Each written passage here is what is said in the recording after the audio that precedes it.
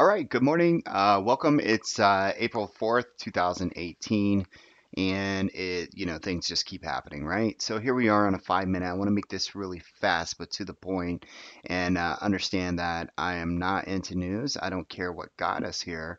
What I care about is seeing that the structure of it still makes sense to me. All right. So if we can stay in this range and we push up into this this green area here at 2583 to 2593, about a 10 point uh, spread in here. This is where I would potentially add on to my puts if we're going to continue in this down uh, phase that we uh, started overnight. All right, LIS is at 2610. Know that once we get in this box, we could have resistance here at 2605, same spot as yesterday. So it's sort of weak, and so that way, you know, I put T2 here at the LIS. All right. Um, I'm going to show you a bigger candle here going into one hour things look a little bit different.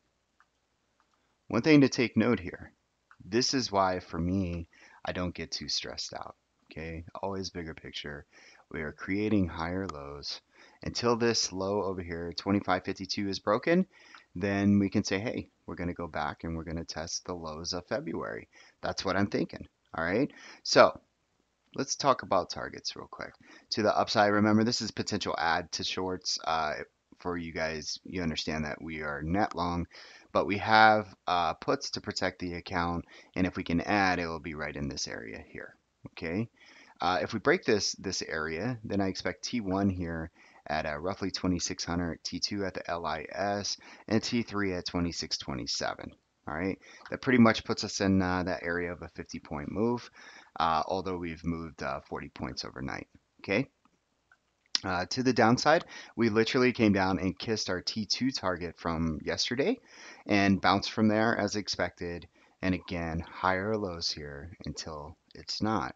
And once that higher low, um, once this pivot low here is broken, then you can expect down here at T3 at uh, 25.28. All right, bigger picture here. Nice little hammer forming out of there on the four hour. All right, this did not mean to be there. Your next target after T3 breaks, all right, as awesome as it may sound, is that we're looking at the 50, which for me would be 2451. Huge difference here, right? But I don't want you to forget about this number, okay? It's a big number. T3, 240 so 2406, this is why we put on those lottos that expire on Monday. Okay, just in case. This guy is really fresh. This to me is where the price overall could end up going. Okay.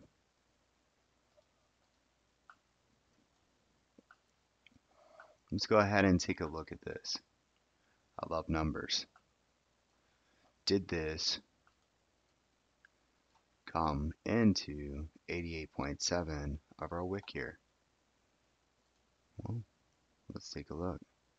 Let's grab that wick. Let's go up to the range here that we're looking at. Pivot high. Look at that. Pretty impressive. Okay, so this is why for me, it makes sense of what it's doing. All right. Another thing here, we added to 2020. Don't get stressed out about that, guys.